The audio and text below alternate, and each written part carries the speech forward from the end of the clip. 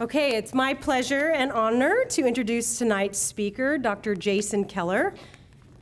Dr. Keller is the interim dean of the Schmid College of Science and Technology at Chapman University.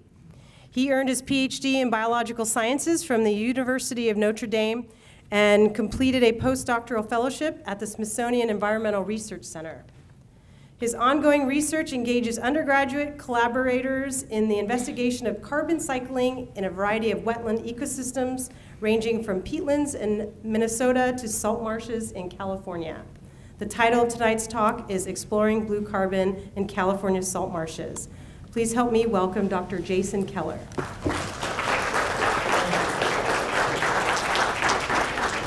Well, great. Thank you so much, and thank you for the, the opportunity to be here tonight. I'll confess that this is my, my first time at the aquarium. And so I drove over from Orange a little bit early to avoid traffic. Uh, got here thinking I'd have plenty of time to practice my talk, and instead realized that there is a beautiful beach right outside the front door. Uh, and so the good news is I'm feeling very relaxed. Uh, the bad news is this isn't rehearsed at all. So we're going we're gonna see how it goes. Uh, I want to talk to you tonight about, about blue carbon. This is carbon that's stored in wetland ecosystems, and we'll get into a little bit more of a formal definition as we go on here. Uh, I want to try and make the case that this is a really important topic for wetland conservation. This is a topic that wetland ecologists are thinking about. This is a topic that uh, coastal managers are thinking about quite a bit. Um, and so I think there's some really interesting uh, policy implications and some really interesting conservation implications of the work tonight. So this is going to be a talk about, uh, about wetlands. And so I always like to start off with a, a, generic definition of wetlands just to make sure that we're all on the same page. This is the wetlands de uh, definition that's used by the United States Army Corps of Engineers as well as the United States EPA, and it's been used for several decades now for regulatory purposes. This is the legal definition of wetlands. And you can spend some time reading it, or you can look at the large uh, green word in the middle of the, middle of the screen and get the gist of it. Uh, wetlands, not surprisingly, are lands that are wet. Uh, these are ecosystems that are transitional. They're not quite an upland ecosystem, but they're not quite an aquatic ecosystem. They don't look like a terrestrial ecosystem, and they don't look like a marine ecosystem. They're somewhere in between. And this in between transitional nature of wetlands is what really makes them such fascinating ecosystems to study. But more important, I think, than sort of a formal definition of wetlands is the connotation of wetlands, right? I think that the first point I want to make tonight is that the way that we think about wetlands and the way that we have historically thought about wetlands has everything to do with the conservation status of wetlands in Southern California and beyond. And so what I'm going to ask you to do is just take a second and, and think of a wetland. Think of a wetland that you visited. Maybe it's the one right outside of the aquarium door here. Or the larger challenge is to think of a wetland that shows up in popular culture somewhere. What are the wetlands that we can recognize from literature? What are the wetlands that we can recognize from movies? How do we think about wetlands as a society? And so I can tell you that there is uh, one correct answer to that question.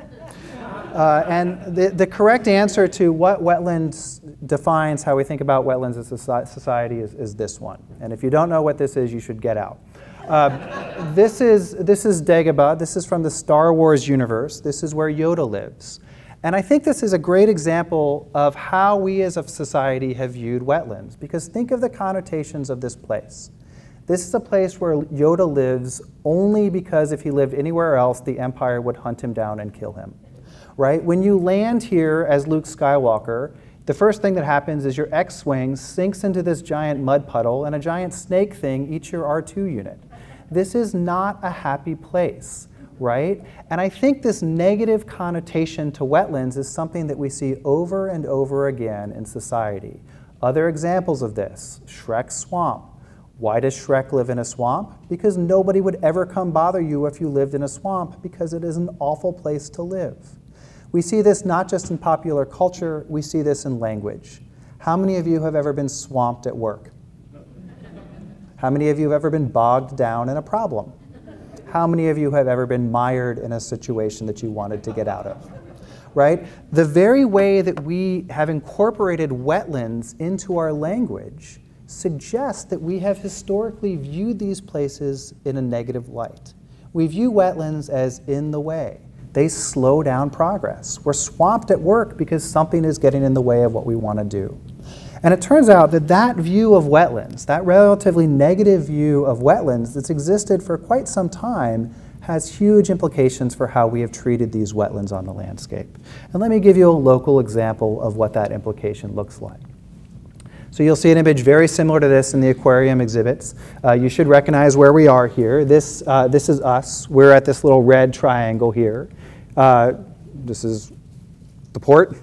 Here's Seal Beach, right? This is Southern California, uh, Long Beach Harbor right here, right? This is what it looked like around 1850 or so. And we know this because around 1850, the United States government very precisely mapped the entire coastline of the United States for shipping purposes. And so as a part of that, we have this great historical information of what this landscape looked like around 1850.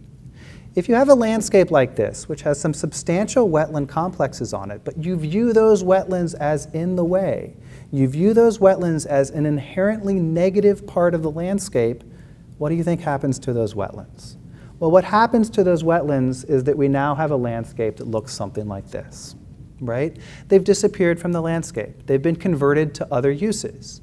And let me be clear, it's not as if these other uses don't have value, right? Certainly the port has value. Certainly the marina has value. But so did the wetlands before us, right? And if your only view of wetlands is that they're negative, snake-filled, disease-ridden places that you want to get rid of, of course you make all efforts to get rid of them. Okay, and just to sort of drive this home with one more image, here's the satellite image of the same area, right? So that area that had these three really nice wetland complexes, this one's gone, this one's gone. The only one that remains is down here at Seal Beach. Anybody want to guess why the one at Seal Beach remains? There's a naval weapons station there, right? This is not a wetland that's able to be developed because there is a ballistic testing site right in the middle of it. Okay? So I'm going to make the argument that this negative view of wetlands and the way that we think about wetlands is evidenced by popular culture, as evidenced by the way that we talk about wetlands in the English language, has a lot to do with the way that we've treated wetlands on our landscape. I'm going to suggest that, fortunately, uh, and, and, let me just say that this is, this is not just a, a, a, Los Angeles problem. This sort of loss of wetlands from the landscape is the, is the norm, not the exception. When we look at Southern California as sort of highlighted here in this orange box, we know that since the 1800s, we've lost 75% of the coastal salt marshes that existed here. That means that we've lost 6,000 hectares of salt marshes in the past 200 and some odd years. That is something like 12,000 football fields worth of salt marshes that no longer exist on the landscape. When we scale up to the entire state of California, we know that we've lost something like 90% of the wetlands that existed here prior to European settlement. We're talking about something like 4 million football fields worth of wetlands that used to be in California that are no longer in California. And of course they're not. If you view that 4 million football fields of wetlands as in the way, we're going to work really hard to get rid of those wetlands. When we scale up even further to the lower 48 of the United States, we know that we've lost something like 50% of the wetlands that existed on that landscape. We're talking about almost 100 million football fields worth of wetlands that were in the United States uh, around 1850 that no longer exist within the landscape of the United States. And again, I suggest that this has everything to do with the fact that we viewed these things as, as in the way of progress. And so what's happened more recently right, in large part because of people like you, I suspect, is that our perception of wetlands have started to change, right? We can now begin to appreciate that not all wetlands look like Dagobah. They're not all dark, scary places that we want to get rid of. I think increasingly as a society, we recognize that we can have a different perspective of wetlands. We can start to think of wetlands that look like this. This is Upper Newport Back Bay, a beautiful site, right? This really nice area in an otherwise urban Southern California environment that offers us all sorts of benefits, right? There's recreational benefits here, there's birding benefits here, a lovely place to bike ride, a lovely place to kayak. And if this is your perspective of wetlands, if these are no longer dark, scary places, but instead sunny, happy places, that probably changes the way that wetlands get treated on our landscape. Along with this appreciation that these places can be really wonderful recreational opportunities, is a growing appreciation by the scientific community, and I think society more broadly, that these wetlands also provide us with any number of ecosystem services. Which is to say that the communities that live close to these wetlands have very real benefits from having these wetlands around there is value in maintaining the 10% of wetlands that are left, not just because they're beautiful, but because we are actually getting something out of that wetland uh, ecosystem. And a couple examples of this. One, one is that we know that these places are incredibly valuable habitats, and I'm glad I picked bird examples, seeing who the audience is today. Uh, we know that wetlands uh, are just amazing habitat for birds, right? Uh, this includes all sorts of threatened and endangered species. But it's not just bird habitat for birders, this is also habitat for things like commercial fish and commercial shellfish population. These wetland ecosystems that exist our land, on our landscape are supporting millions, if not billions, of dollars worth of commercial fisheries by providing habitat for the fish that live in these transitional environments. We increasingly realize that wetlands provide important protection to our coasts.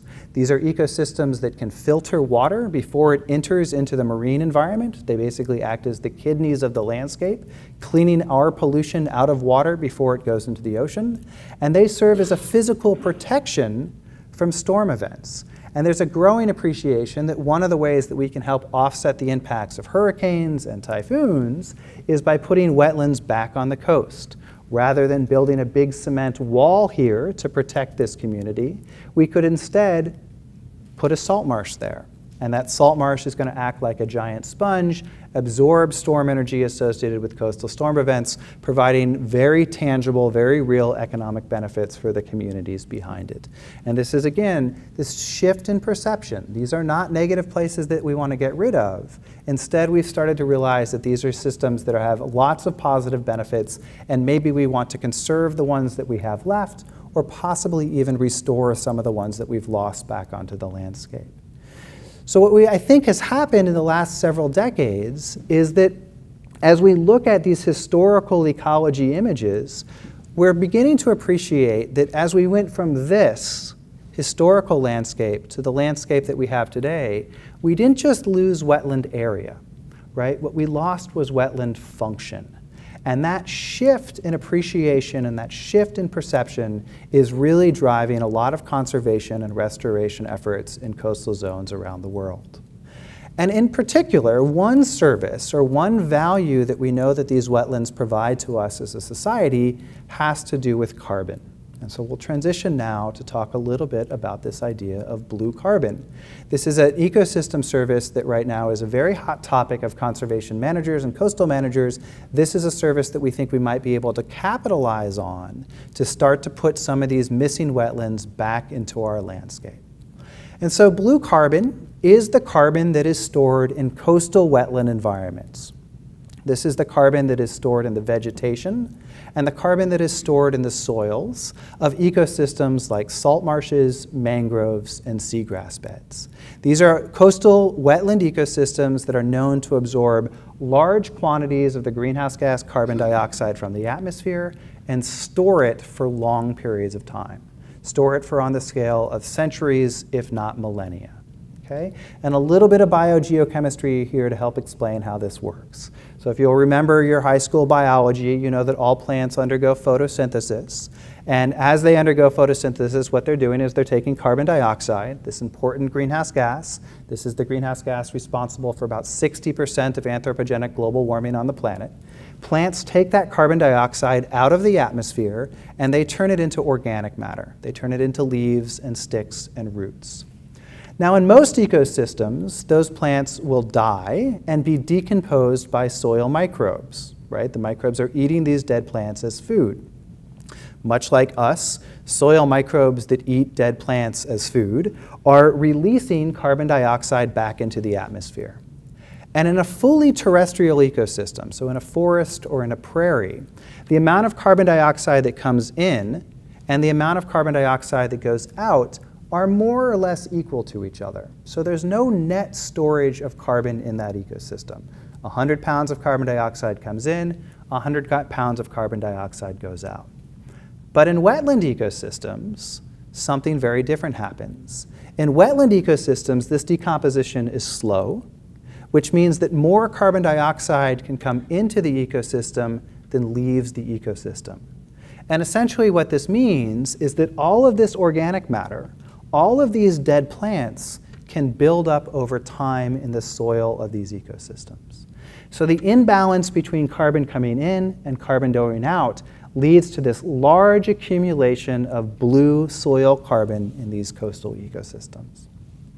And these coastal ecosystems, salt marshes, mangroves, seagrass beds, are really, really good at this, right? They win the competition for being able to store carbon, and they blow everybody else out of the water. So this is a graph from one of the articles that's on the table in the back, so well done, um, showing the carbon burial rate per meter squared per year in a variety of ecosystems around the planet. And so what this says is that if you have a given area of a tropical forest or a temperate forest or these blue carbon ecosystems, this is how much carbon that given area can store for hundreds of years each year. How good at these things are, are these different ecosystems at burying carbon? Okay?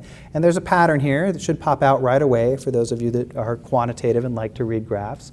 Which ecosystems win? Is it the forests or is it the blue carbon ecosystems? It's the blue carbon ecosystems. And how much do they win by? Are they storing twice as much, two times as much carbon per meter squared per year? Look carefully at the axis, says the uh, faculty member at the front of the room. Uh, notice that this is not this is not a linear axis. This is not going 1, 2, 3, 4. This is going 1, 10, 100. So the forest, right, the lushest, the densest tropical forest that you can imagine, right? These are the rainforests in South Africa, right? These big, dense tropical systems. They're down here, less than 10. Salt marshes are up here over 100 right? These blue carbon ecosystems are 10, if not 100 times better at storing carbon than any other ecosystem on the planet. These systems are incredibly effective of taking that greenhouse gas out of the atmosphere and storing it below ground in their soils for centuries, if not millennia. Okay? And why is that? Let's talk just a little bit about the ecology of this. How many people have ever seen this image before? This is a bog mummy. Do people know what these are? So this is a, this is a, a bog mummy found in a, a, very different type of wetland, not a salt marsh. This is found in a freshwater ecosystem just outside of Denmark. Uh, Tollund Man, we know that he died in the year 400 BC. He was discovered uh, in the year 1950. So this is a 2,000-year-old body. This is remarkable preservation for a 2,000-year-old body right? We can still see his leather hat. We can see the stubble on his chin. We have some clues as to what might have happened to this person. This suspicious looking noose around his neck gives us some forensic insights into what was going on here. So I tell my students there's, there's a good life lesson here. If you're going to go into a life of crime, do not dispose of your evidence in wetland ecosystems. Get rid of it in a forest. The evidence persists for thousands and thousands of years. The same thing that preserves this body, you know, this Dane, is exactly the same thing that preserves dead vegetation and blue carbon ecosystems. And the reason that this happens is because wetlands are wet, right? And in the presence of water, there's no oxygen. And so all of the soil microbes, all of the bacteria and the fungus that exist in a forest ecosystem and would chew this body up and get rid of the evidence very, very quickly in an upland ecosystem, in a forest or a prairie or coastal sage scrub, they're breathing oxygen in the same way that we're breathing oxygen. That's how they consume the organic matter. It's the exact same biochemistry as, as, as how we breathe. As soon as you put this dead dane, or as soon as you put dead vegetation below the water table, there's still microbes there, but those microbes no longer have access to oxygen. And so the lack of oxygen, the anaerobic or anoxic conditions in wetland soils slows down decomposition dramatically. This is the, why the Titanic exists at the bottom of the ocean when the Titanic would not exist had it crashed in a forest, right? The lack of oxygen, often combined with cold conditions and acidic conditions in some wetlands, but primarily the lack of oxygen slows down decomposition. It allows for the accumulation of bog bodies. It allows for the accumulation of soil carbon in wetlands around the world. Now, the other thing that these coastal ecosystems have, besides being anoxic, and having slow rates of decomposition because they're wet is that coastal ecosystems are on the coast. And being on the coast, they are constantly faced with this uh, presence of sea level rise. And so if you're a salt marsh and you exist along the coast and the sea level rises, and things are working well and you're in a fully functional landscape and we haven't urbanized the entire landscape, a variety of biological, ecological, and geo, uh, geophysical processes occur that allow that wetland to grow to keep pace with sea level rise. And this is unique to coastal systems. So coastal systems store carbon because they're anoxic, and in addition, they're constantly adding new layers of soil, right, in ways that a forest can't, or that a freshwater wetland that doesn't have this tidal connectivity, the sea level rise, can't. And so it's this combination of very slow decomposition and the ability to store new layers of carbon every single year, those two factors are what makes these blue carbon ecosystems 10 or hundreds of times better at storing carbon than any other ecosystem on the planet. Okay, so who cares, right? A very, a very fair question. Um, this is fascinating if you are an anaerobic carbon biogeochemist, but uh, there's only one of those people in the room tonight. And so nobody else is, is particularly impressed by anoxic biochemistry. Why this matters is that as we start to move towards uh, policies, right, and laws and regulations that value greenhouse gas removal from the atmosphere, that has conservation implications. And this is starting to happen in California and around the world. So we are now at a place where environmental policy has established a variety of different carbon markets or carbon, trap, uh, carbon cap and trade systems. Essentially, we have multiple markets around the world, including here in California, that treat carbon like stocks. You can buy and sell carbon in California. And this is done to help reduce greenhouse gas emissions in the state. And there's similar policies that exist on global levels and, and some national levels as well. And these carbon markets then create an opportunity for wetland conservation and restoration. If carbon has a dollar value, and if wetlands are better at storing carbon than any other ecosystem on the planet, that means that you can conserve or restore wetland ecosystems and potentially generate revenue from the carbon that that wetland is stored. That then helps you use that revenue to continue to conserve and restore more wetlands and maybe put some of the 50% of the wetlands that we've lost in the United States and all of the services they provide to us back on the landscape.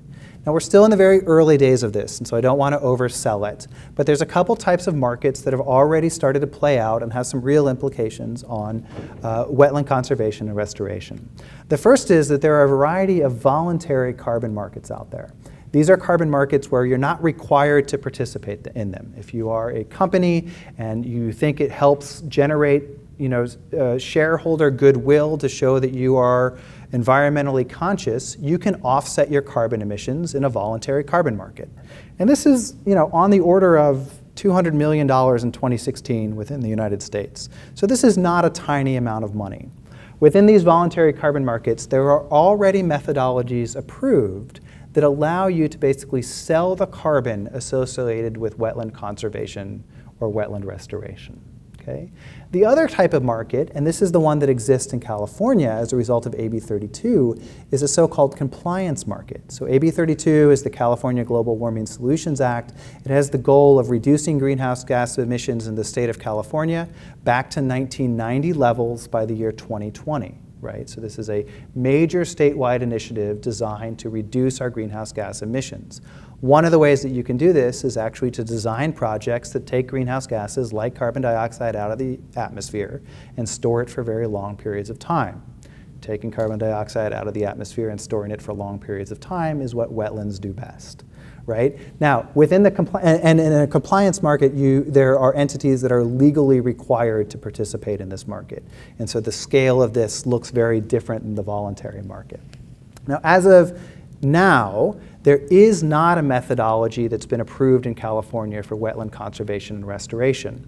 But the carbon market, the compliance market that exists in California, is very interested in trying to develop that methodology. I've served, uh, as a reviewer for multiple drafts of the protocols that are being considered for wetland uh, carbon sequestration in the context of AB 32. They've also taken some of the revenue that is generated from this compliance market and put that revenue back into practice projects basically put something like $20 million towards wetland restoration projects with the idea that these can be case studies to see if we might be able to quantify and sell the carbon that's stored in those wetland restoration projects. And so this policy implication of blue carbon is what makes the conservation community and the coastal management community so excited about this ecological principle. All right. So I'm going to show you just a handful of examples of some of the blue carbon work that we've been doing at Chapman University uh, down, in, down in Orange. So uh, I've been at Chapman for 11 years. When I'm not serving in, in, an administrative capacity, I'm associated with the biology and the environmental science and policy programs. And I think the best part of my job is working with really talented undergraduate students on these real world, real science questions. Chapman University does not have a graduate program in biology. Chapman University does not have a graduate program in environmental science and policy. So all of the work that I'm going to be talking about today is done with undergraduate collaborators. These are amazing students, and I am incredibly proud of the work that they have done. So this is some of the work that's being done in my lab at Chapman University. We are proudly the Swamp Monsters. We've got a great logo. We're really excited about it. Uh, and I'm just going to show you sort of snippets, three snippets of the sorts of things that we've been working on uh, at Chapman. All right. So the first is a question that we did at the Huntington Beach wetlands. And so there's, uh, this is a series of four different wetland complexes that have been uh, restored by the, wetland, uh, by the Huntington Beach Wetlands Conservancy uh, for a number of years. And so we went back to two of these marshes. We went to the Brookhurst Marsh, which at the time that we did this project had been restored for two years. And we went back to Talbert Marsh, which at the time that we did this project had been restored for 22 years. And let me say that this project was done as part of an upper division ecosystem ecology class that I teach. And so this is the laboratory component of that class where I get 20 students who have to do whatever I tell them to do. And so I put them to work answering questions that I am excited to answer. And so the question that we were exploring here is if blue carbon is going to be a thing, if wetlands are going to sequester carbon and we want to sell that carbon back on a market or trade that carbon back on a market, then we would expect that the amount of carbon in a young marsh is less than the amount of carbon in an old marsh. So what we do is we send those 20 students out into the field. This is fantastic. Uh, university legal departments love this stuff because you say, well, what I need to do is I need to take these 20 kids, I'm going to put them in a van, I'm going to drive them down to Huntington Beach, and then they're going to use this big sharp metal tube. And I'm going to have them, it's fine. I mean, this is a razor blade on the end, but we'll be really careful. We, you know, we, we got a system. And the system is we put it in the ground and then we have one of them stand on top of it and jump up and down. And yeah, so it's, it's totally fine. Everybody was, everybody was very safe. Um, and so we do this, and we take these cores from the Talbert wetland, the older wetland, and we take these cores from the Brookhurst wetland, the younger wetland, and we section them up into small increments, and then we bring it back into the lab and we measure how much carbon is in the soil. And again, the question here is, is there more carbon in the older wetland than there is in the younger wetland? And so we spend a lot of time getting people to measure a bunch of things for me, and here's what the data look like. And so this is a soil profile. And so here we're starting at the top of the wetland soil. And we're going down just about 50 centimeters. We actually go down as, as it depends on how heavy that person on the top of the core is, right? If you get a big, a big person in there, you can go down to 50 centimeters. If you have a, you know, a more lightweight class, you know, you stop at 35 or something like that. And then what we're looking for is the percentage of that soil that is carbon. So how much of that, if you have 100 grams of soil, how many grams of carbon do you have in that soil depth increment? And so the young marsh, the black marsh, uh, so the young marsh, Brookhurst marsh in black dots, the one that we expect to have very little carbon is here. And the one that is 20 years older, that we expect to have more carbon, is here. yes, so this is the beauty of science, uh, and the beauty, there's a, there's a fine educational lesson here. People see why students get frustrated with a project like this, right? So we build it all up, and blue carbon's important, and wetlands are better at this than anything else in the world. And so they're going to be sequestering carbon, and the longer you let the wetland go, the more carbon that you're going to have. And you can see that in the young marsh, you have way more carbon than in the old marsh. Why? And what this tells us, we actually have some, we have some good ideas about why. It turns out that it's not just the age of the marsh, it's also what you start with, right? So we did a follow-up project to test that hypothesis, and it turns out that, that, of course, that's true. So it turns out that in this young marsh, Brookhurst, this was a marsh that prior to restoration still looked really good, right? There was still pickleweed in that marsh. It hadn't had tidal connectivity for 30 or 40 years, but that pickleweed, that really hardy salt marsh plant was still hanging on. And so there was a lot of carbon stored in that soil because it hadn't been completely destroyed. Whereas Talbert was essentially a parking lot prior to restoration, right? And so what we learned here is that starting conditions really matter. Okay, not surprising, but you don't know that until you go out and measure it, and it shows some of the complexity of trying to move blue carbon into these market systems. You can't just say, well, this is a marsh that's been restored for 30 years, so this is how much carbon it has. You need to know a lot more information if you want to quantify how much carbon is stored in these systems. Uh, this is something that we published in the Bulletin of the Southern California Academy of Science, and one of my greatest achievements in the past 11 years is that that paper had nine undergraduate co-authors on it, which is not bad from a college class two more projects that we've talked about or that I'm going to talk about with you today.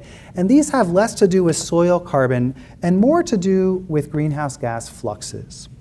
So I've explained already that because these systems are anaerobic, because there's no oxygen, that's why they store so much soil carbon. Right? The lack of oxygen for the microbes to breathe describes why there's so much carbon tied up in these soil ecosystems.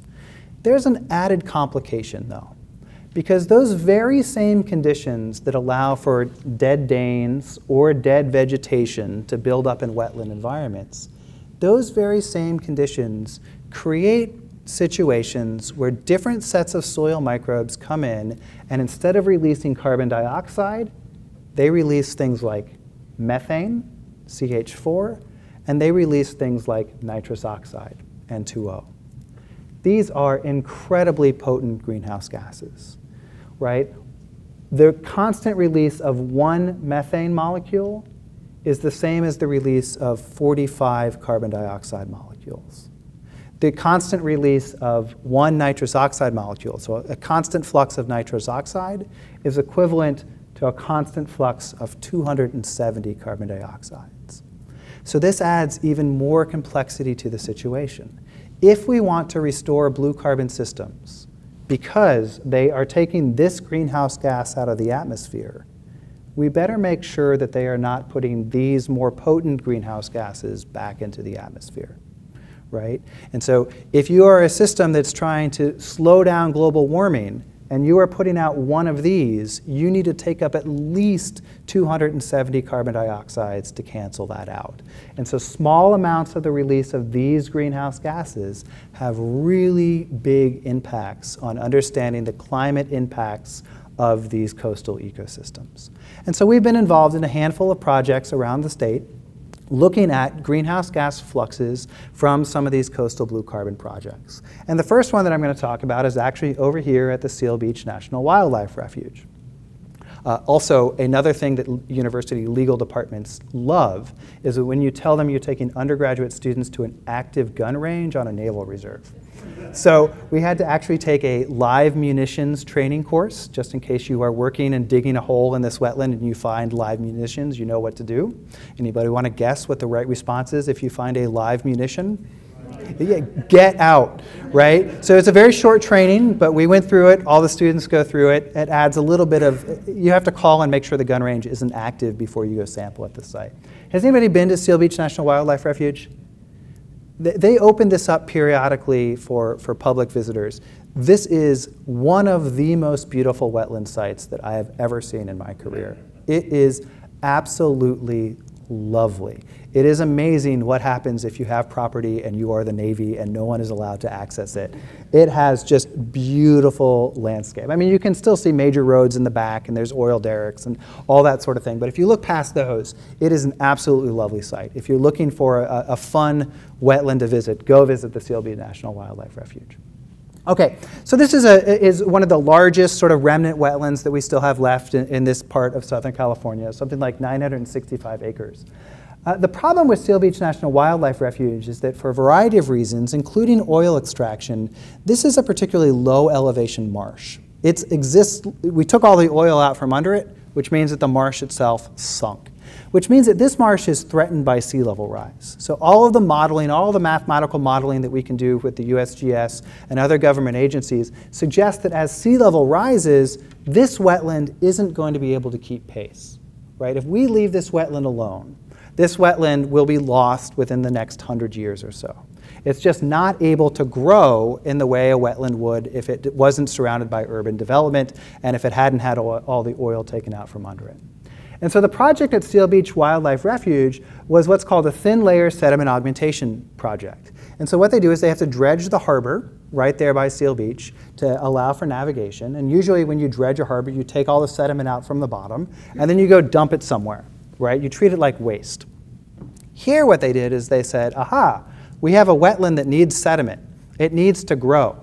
And so rather than dumping that dredge material somewhere inland, we're going to spread some of that dredge material on top of that wetland.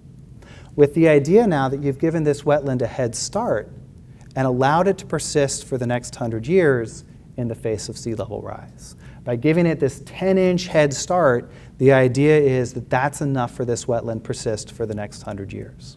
Okay? Now, if we're conserving the wetland and we're allowing the wetland to grow for the next 100 years, there's of course the potential to quantify how much carbon is being added to the landscape and bring this into carbon markets. This is one of the projects that was funded by the Compliance Carbon Market in Southern California. This is one of the pilot projects that that AB 32 market funded. And so this is what this looks like, right? This is a really cool heavy machinery project. They designed this special spray hose where they can, it's called a rainbow arc technique, where they take big uh, piles of the dredge material and then they spray it out in this rainbow pattern over the marsh to get a thin layer surface. And they drive this kind of wetland tank around to make sure that everything's working. And what we were able to do is come into that site with some really talented undergraduate students and measure whether or not the system is releasing greenhouse gases. Does the addition of this thin layer augmentation increase methane fluxes or increase nitrous oxide fluxes? And if it does, that's going to offset all the carbon that's stored in this system in the context of, of blue carbon carbon sequestration. So what we learned, we were on this project for about three years. We went out and we measured greenhouse gas fluxes every couple of months uh, on this project. And it looks like both of these potent greenhouse gases, both methane and nitrous oxide, had incredibly small fluxes at this site. This is not a site that's releasing a lot of these potent greenhouse gases, which suggests that projects like this might be really good candidates for blue carbon credits if we ever design a protocol that's accepted as part of this compliance market. So a positive story here that we were happy to contribute to. The last project that I'm going to talk to you about today actually takes place up in the San Francisco Bay. Um, those of you that don't know, the south of the San Francisco Bay, which is what you're looking at right here, used to be surrounded by salt marshes, like much of coastal California. Uh, 18, 1900s, all of those salt marshes were drained and converted into salt ponds. This is where we get sea salt from. Essentially what you do is you take each one of these little outlines here that has a letter, that's a different pond. And those all used to be marshes, and you get rid of the you get rid of those pesky marshes because of course you do because they're in the way. Uh, you get rid of those pesky marshes and you convert them into ponds, and then you pull the seawater in and you allow it to evaporate. It gets a little more salty. And then you move it to the next pond and you allow it to evaporate, and so on and so on until you end up with purified sea salt. And this has been happening in, in the south of San Francisco Bay for, for just about 100 years or so. The technology has gotten considerably better over that 100 years. And they can now make the same amount of sea salt in a fraction of the area.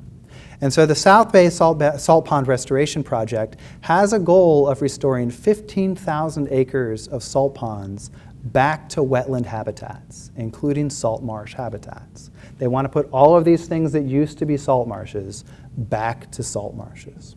This is the largest restoration project on the West Coast, and obviously there's some potential blue carbon implications here. If all of those uh, salt ponds, which don't store carbon, are converted into salt marshes, which do store, store carbon, and you can trade that carbon on a carbon market, that creates a significant revenue stream for a project of this scale. So we were involved in this project to look to see if these systems make methane at all. This is one of the, my favorite projects that I've ever worked on because it allowed me to buy kayaks, which is fantastic. Also something Cal, uh, legal departments love. Um, so we had some kayaks. This is Haley Miller. She graduated uh, two years ago from Chapman Environmental Science Policy. She's starting a master's program at Clemson working on mangrove biogeochemistry next fall. And so what we did is in the salt ponds, we had these chambers that we deployed, and we had to paddle out to them in these kayaks, and we sampled the greenhouse gases that were coming into these chambers. Now this is actually not particularly easy because you are in a kayak. And so Haley was fantastic. She had this amazing level of patience where you kind of bob up to these things and you can't bump them and you can't hold on to anything and you're trying to get a syringe and sample the headspace really, really quickly before you float away. And we did this for several hundred chambers over the course of about a year in the south of uh, South Bay. And so what Haley found, uh, and she's submitted this work for publication already, is that surprisingly, these salt ponds, and some of these salt ponds, because of this historical legacy, are incredibly salty. Uh, they are three times saltier than, than seawater. Right? This is a rough place to make a living biologically. Surprisingly, some of these highly saline ponds are actually releasing measurable amounts of methane. Right? And some spots, so this is looking at um, this is looking at weirs. These are highly regulated systems. And there's some parts of these ponds that have so much methane, it's actually bubbling out.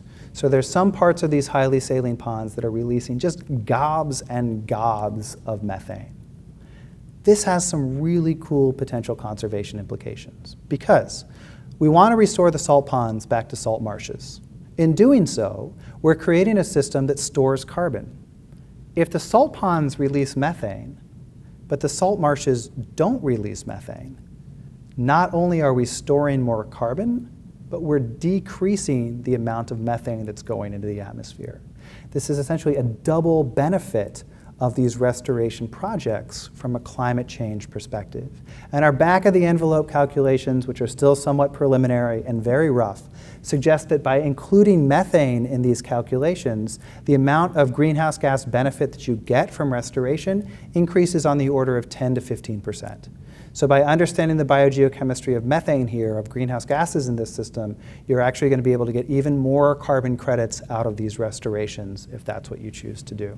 Again, somewhat preliminary. I don't want to overstate this. I'm not saying that every salt pond in the world does this, but we have some really exciting data that suggests more work is necessary here. So let me sort of wrap things up and, and try and come back uh, to a couple main points. I want to suggest that we've had a changing perspective on how we think about wetlands as a society. For a long time, we viewed these things as dark, scary places, things that were in the way of progress, things that we wanted to get off of the landscape. And because of that view, we were really good at getting these things off of that landscape. As science has evolved and as society has begun to think about these systems wetland differently, we now recognize that they're not in the way. These aren't negative systems. These are actually systems that provide us with a great number of benefits. And that shift in perspective has been one of the major drivers of restoration and conservation uh, efforts in these wetland ecosystems. One of the services that has risen to the top as services that we should be thinking about in these wetland ecosystems is the fact that coastal ecosystems store lots of carbon. They are better at this than any other ecosystem on the world, which means that there are now exciting policy opportunities around wetland conservation and, wet, and wetland restoration. As we move towards a place where carbon has a dollar value because of emerging carbon markets, both voluntary and compliance-based markets, systems that store carbon become valuable to us as a society.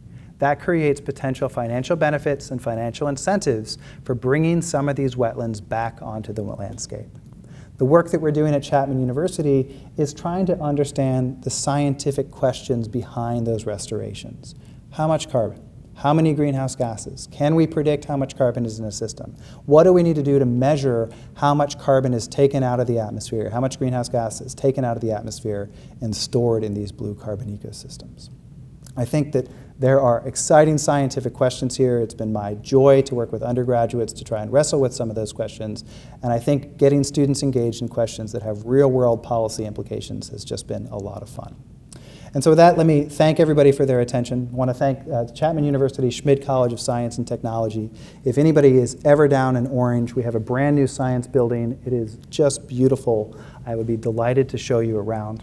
If you know people that are looking for a place to do an undergraduate degree in the sciences, I would be delighted to show them around too as dean. Uh, I want to make sure that I, I thank my undergraduate students that did all of the work that I talked about today.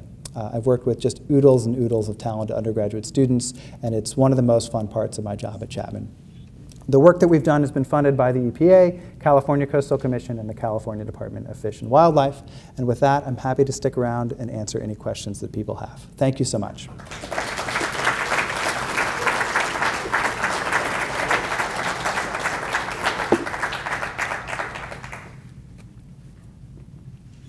I can see none of you, so if you have questions, speak up.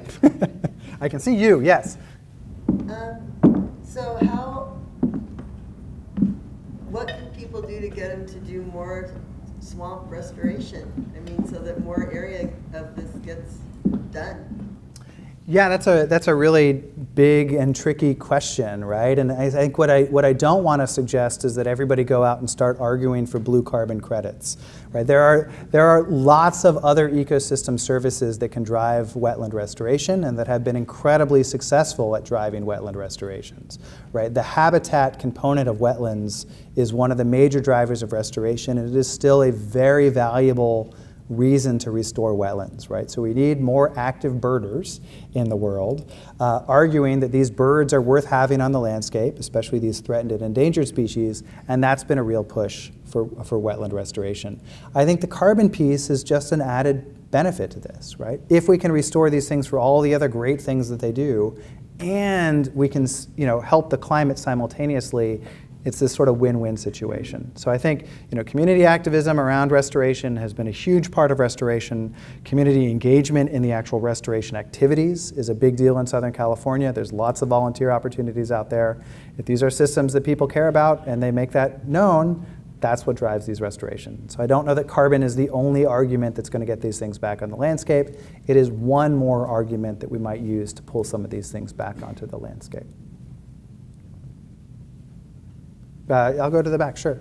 Um, since carbon restoration, since wetland restoration in, say, Long Beach is probably impossible, is the focus going to be on less populated uh, sections of coastland? And if so, aren't there a lot of wetlands already there, or are they all gone? Yeah, it's a really interesting question, right? If you look at Southern California, where are you going to put them, right?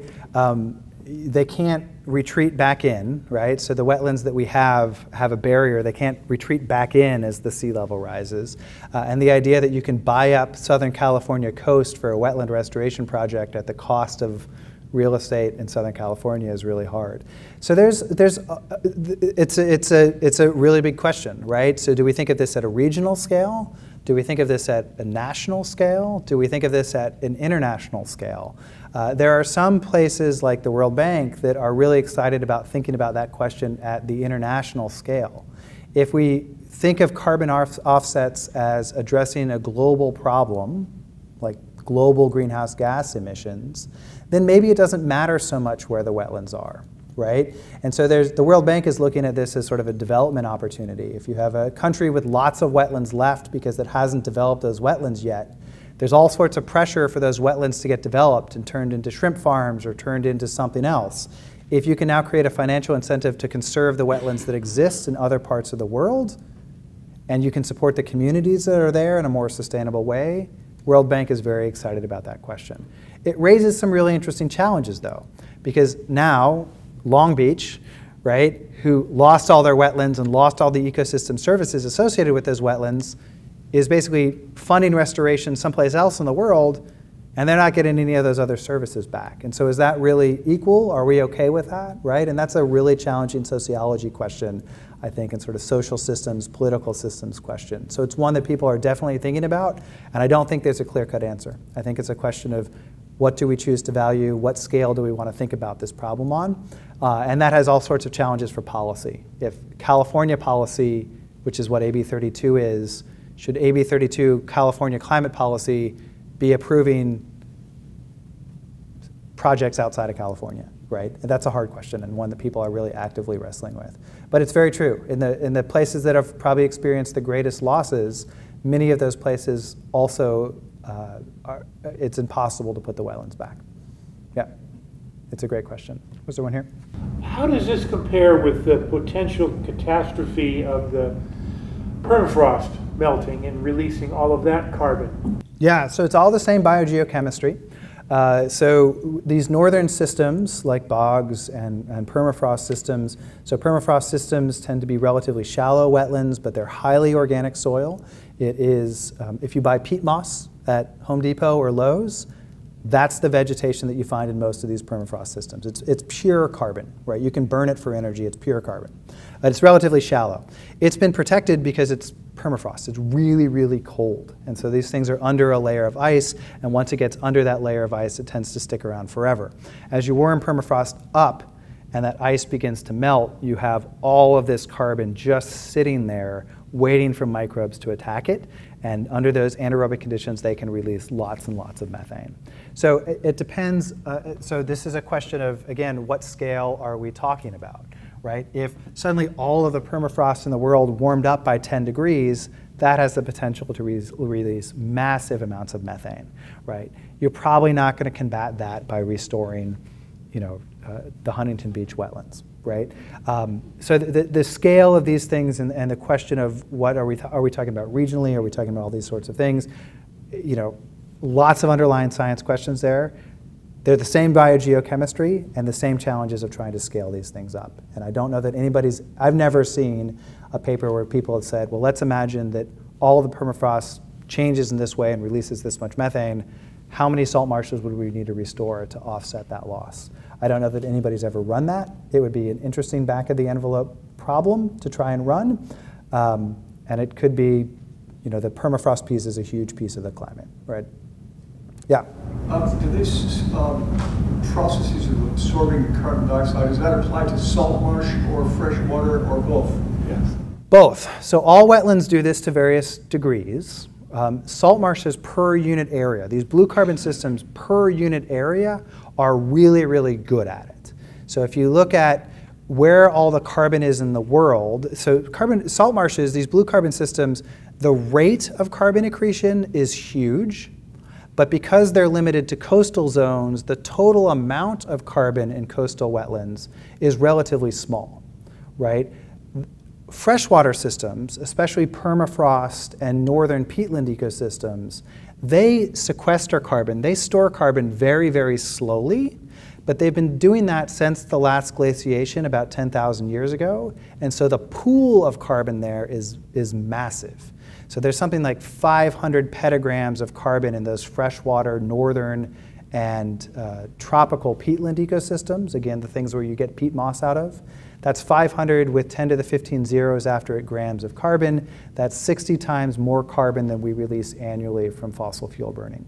So that stock of carbon in northern systems in Minnesota and Alaska and boreal zones, and actually we're finding more and more peatlands uh, along the equator, that stock of carbon is massive, but it's slowly being added into the system. And so again, this is getting to your question, right? So we've got one that has a ton of, of carbon stored there, which if it suddenly goes up into the atmosphere is going to be a really big challenge. But restoring those doesn't suck a lot of carbon dioxide out of the atmosphere in any given year. So for those peatland ecosystems and permafrost systems, oftentimes the conversation is more about conservation. How do we protect those things? How do we make sure that they stay wet and don't get drained? Whereas for salt marshes, the pool of carbon, the, the mass of carbon is relatively small, but we can suck it away really fast. And so if we put small areas back on the landscape, we're sucking lots of carbon dioxide out of the atmosphere. So freshwater wetlands do this as well. Now, freshwater wetlands, the challenge with freshwater wetlands and the reason why blue carbon systems are so exciting for, for uh, carbon sequestration is that the methane, this potent greenhouse gas, Methane does not get made if you have lots of sulfate around. So methane is made by microbes, microbes that live in your gut, right? You release methane, your, wet, your, your gut is like a miniature wetland. Uh, those microbes, everything's a miniature wetland. If you take my class, you know that everything is ultimately a wetland. Your gut is a, is a wetland, and there are certain types of microbes that live in your gut that when they break down the food that you eat, they breathe out methane, okay? Those microbes are just barely eking out a living. The energy that you get from making methane is tiny, right? If there's biochemists in the room, the delta G of methanogenesis is just enough to actually make an ATP molecule. Right? It is the hardest possible way to make a living biochemistry. So if you're a methanogen, if you're a microbe that releases methane, you only are able to do that if there's nobody else around any other microbe that can make a living biochemically any other way beats you to the food. And so there's another group of microbe called sulfate reducers. How many people have ever smelled a rotten egg? That's because of sulfate reducers. Those are microbes that instead of breathing oxygen, those microbes are breathing sulfate. Breathing sulfate gives you more energy than making methane. And so if there's a piece of dead vegetation and there's a methane microbe and a sulfate microbe, the sulfate microbe gets the vegetation every time, which means that methane's not being made. The reason why blue carbon systems are so exciting for carbon storage is that ocean water has a lot of sulfate in it. If you ever walked by a coastal wetland, what does it smell like? It smells like a rotten egg because most of the microbes there are breathing sulfate. And so part of the reason why blue carbon systems are so appealing for a carbon sequestration thing is that biochemically we know that they shouldn't make very much methane. Now, freshwater systems can store a lot more carbon, but if they're making methane, the net climate impact tends to be closer to neutral, whereas uh, a salt marsh tends to just be uh, a carbon, uh, a climate benefit. That was a very long answer, and I'm not even sure it was the answer to the question you asked. But there's a lot of biogeochemistry for you, so. Anything else that I can answer for people? Uh, yeah, please. Um, when the different layers continue to build on top of uh, each other, yeah. does that put pressure on the lower la layers? And does that form coal and possibly even diamonds at very much lower? Yeah, absolutely, absolutely, right. I, not everybody, everybody go out and dig out all the wetlands. That's where all the diamonds are, people. Uh, no. So what we know is that, um, I mean, the fossil fuels that we're, we're burning today, right? Oil and natural gas, those are essentially the wetland soils and the, and the marine sediments from millennia ago.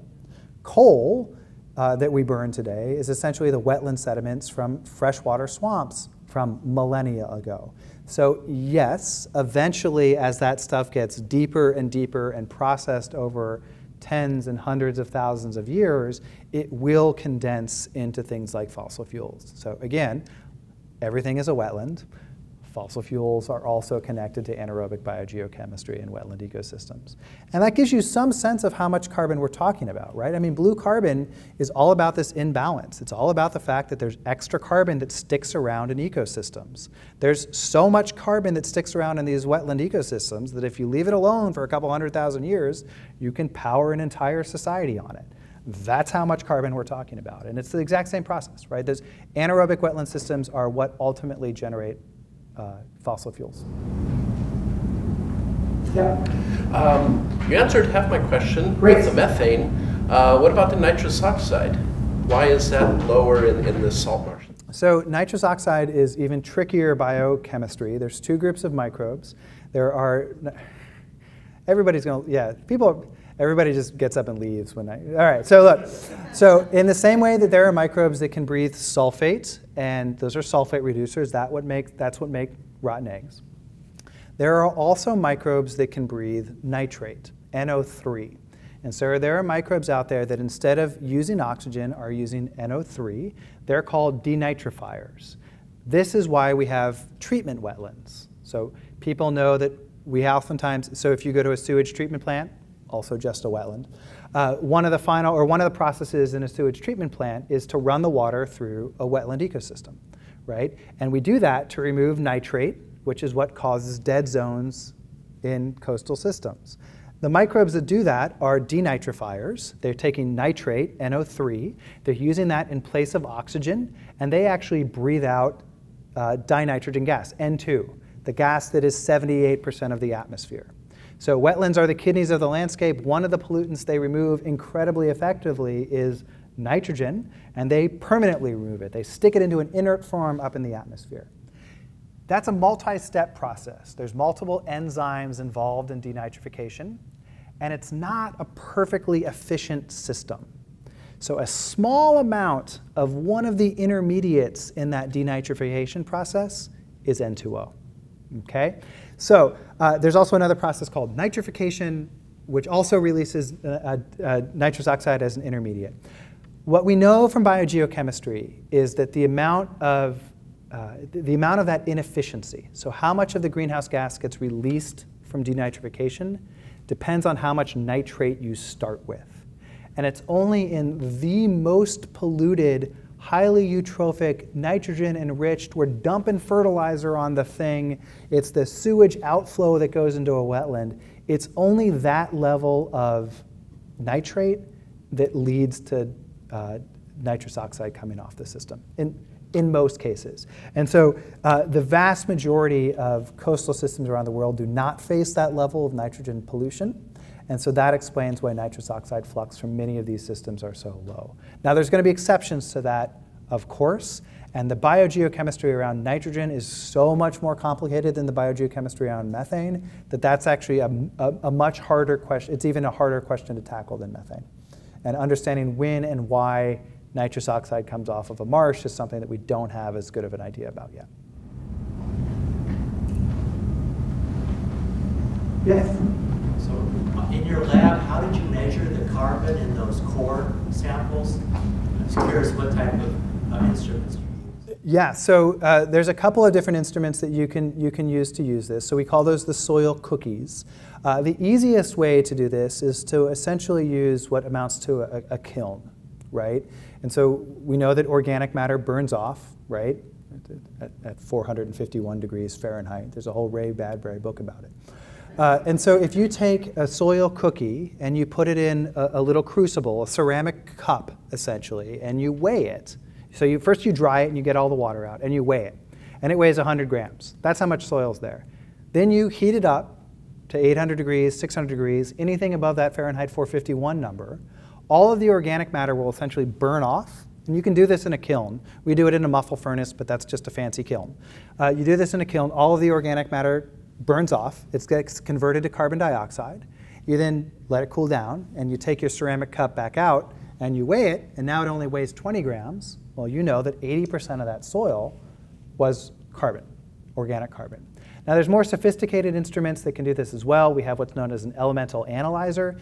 It essentially works the same way, except instead of measuring the mass loss, it measures the amount of carbon dioxide that burns off. So in this one, you take very tiny amounts of soil, you put it in a little tinfoil ball, you drop it into a furnace that flash burns it at, you know, 1200 degrees C or something like that. That converts all of the organic carbon to carbon dioxide, and then you measure the amount of carbon dioxide that comes off using a piece of equipment called a gas chromatograph. And so essentially you're looking at either the loss of organic matter as a mass loss, or you're looking at the mass of organic matter as carbon dioxide that's basically being burned off. And you can measure it either way. Both are actually super easy to get students to do. The kiln one is really easy. You need a scale, you need a kiln, and you need tongs so that people don't burn themselves, right? That, so that for this project, we actually use the, the organic matter. It's called loss on ignition. We use the loss on ignition method for that one. Yeah?